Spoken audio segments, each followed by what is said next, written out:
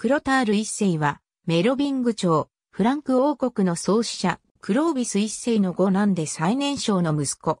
母、クロティルダにとっては四男。ソワソン王、後に二代目の全フランク王。クロビスの五人の息子の中で最も長命であり、クロビスの死後に息子たちへ分割相続された王国は、再び彼の下で統一された。497年にソワソンにて生まれる。511年にフオークロビスが没すると、フランク王国はクロビスの息子である彼の他に、長子テウデリク、クロドメール、キルデベルトによって分割された。その中で、クロタールは、ソワソンを本拠とし、ラン、ノワイオン、カンブレー、マーストリヒト及びマース川下流域を抑えた。しかしながら野心ある、彼は自分の領地の拡大を務めることとなる。524年、彼は自分の兄弟クロドメールの息子を殺害させるよう、先導し、トゥールとポワティエを奪取、そしてブルグント王国へ数々の侵攻を試みる。534年にブルグントを滅亡させ、グルノーブル、李周辺の地域を支配下に収める。東ゴート王国よりプロバンス地方の割譲を受けると彼は、その割譲分の中からオランジュ、カルパントラ、ギャップを勢力下にする。531年に自らの甥テウデベルトと共にチューリンゲンに遠征、542年には兄キルデベルトと共に西ゴート王国へと侵攻する。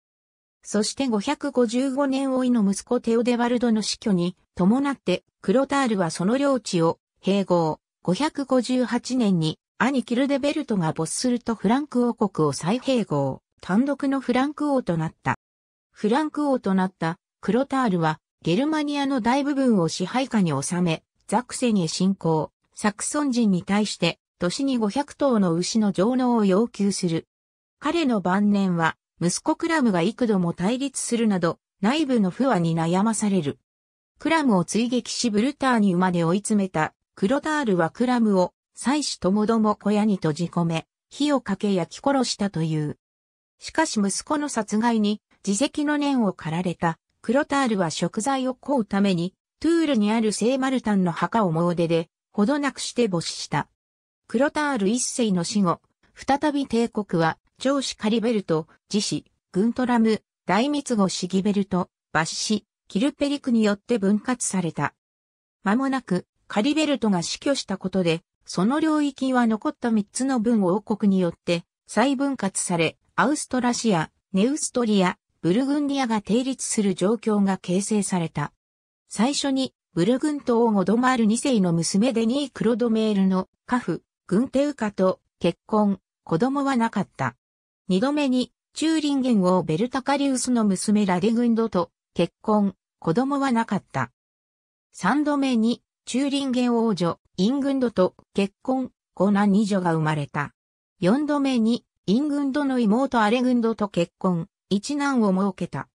五度目に、くんじなと結婚、一男を設けた。ありがとうございます。